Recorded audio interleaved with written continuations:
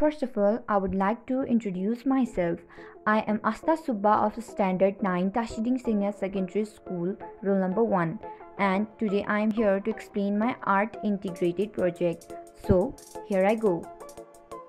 It is the front page of my project and I have written art integrated project work on maths and my name, class teacher name and my roll number and I have used various color pens to make my project look more wonderful and then I have written acknowledgement.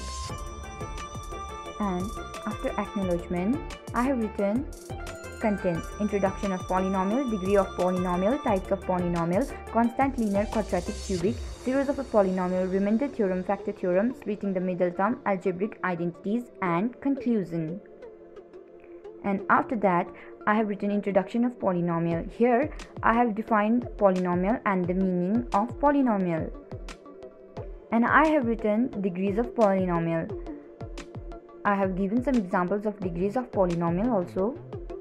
And after that, I have written types of polynomial. If polynomial are classified on the basis of the number of terms, there are three types monomial, binomial, and trinomial. And if they are classified on the basis of the degrees, there are four types constant, linear, quadratic, and cubic. Here comes the constant polynomial. Constant polynomial has the degree 0 and then comes linear polynomial. Here I have defined the linear polynomial and the degree of linear polynomial is 1. And then comes quadratic polynomial.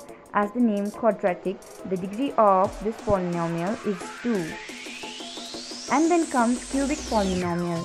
The degree of cubic polynomial is 3 respectively. And then comes zeros of polynomial. Zeros of polynomial are the real value of the variables. And I have given some examples of zeros of polynomial also. And then comes remainder theorem. It is the most important part of the polynomial chapter. And I have given some examples of remainder theorems also. And then comes factor theorem. Factor theorem is a theorem that links factors and zeros of the polynomial. I have given some examples of factor theorem.